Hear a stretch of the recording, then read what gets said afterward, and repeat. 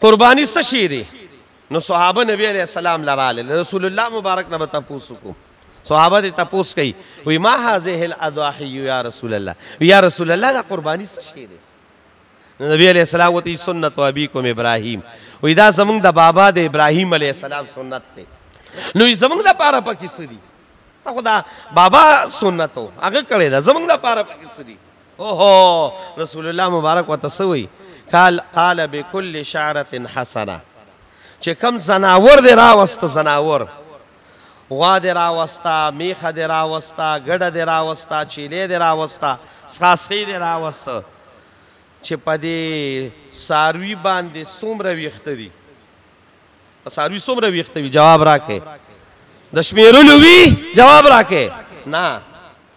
نشي شمیرل کېدی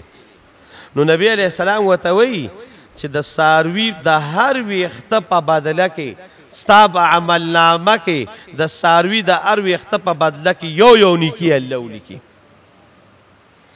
د ساروی د هر ویخته په بدله کې یو نیکی ده نو صحابه تاسو یا رسول الله فصوف دا ګډ مطالب او ګډ خو دومره ویخته دي چې یو دومره بوچې دی راواغشته یقین په خدای وکړه کو لس ورځې کې هغه مشمیري نو چې د د سر نه تر د خپو پورې او په دې ټول وجود باندې کم ویختی دا به څوک شماري رسول الله مبارک وته وی او ای زما صحابه چې د ګډ باندې کم ویخت دي د دقه ګډ د هر ویخت په بدله کې بستا په عمل نامه کې ونی کې الله او بیا رسول الله مبارک وته وی و انه لا یاتی یوم القیامت دا عائشی بی بی ته وی دا به د قیامت په ورځ سره د خپل خکرو سره د خپل سرمنو سره د خپل اډوکو سره د خپل سټو خاشنو الله راولی او استاد عمل د نیک تل کې به الله ور واچي نو یو په خولي یخ کې لپی خوشاله کې لس کاله نبی علیہ السلام مدینه منوره کې تیر کړی دی او لس واړه کاله قرباني کړی ده صحابه وی وی نبی علیہ السلام و هر کال دو ساروی حلالو یو ساروی به د ځان د طرف نه او یو ساروی به د تمام امت د طرف نه حلالو چې دا زما د تمام امت د طرف نه دی او چې په کم کال حج لراغې نو بیا یې 63 پیته ساروی حلال کړی دا حدیث لږ ووره او د زړه په غوږ وې ووره د زړه په غوږ وې ووره فاطمی بی بی ته وی فاطمی بی بی وی د خپل قربانه ته حاضر شه ځکه به نبی علیہ السلام او حضرت علی رضی الله تعالی عنہ نو سو غیر محرم بنو نو د خپل قربانه ته حاضر شو په خپل سترګو وینا وی یا رسول الله زما د پاره پکې څه دي چې زه دا په خپل سترګو وینم دی حدیث ته لغوه کړي باقاعده په مشکات مبارک کې شته وی راشه ته د خپل ساروی تو درېګا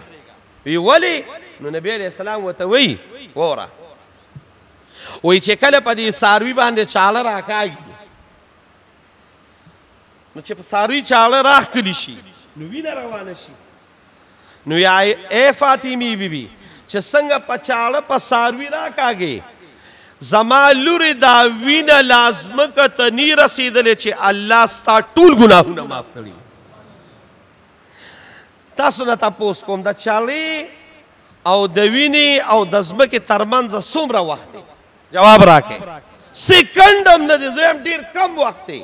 د سیکنډ هم کم وخت چې دا ځمکې ته ځي وی دا وینه لازمه کې ته تلی نیوي چې الله ستا بخنه کړي مغفرت کړي الله ستا ټول ګناهونه معاف کړي الله اکبر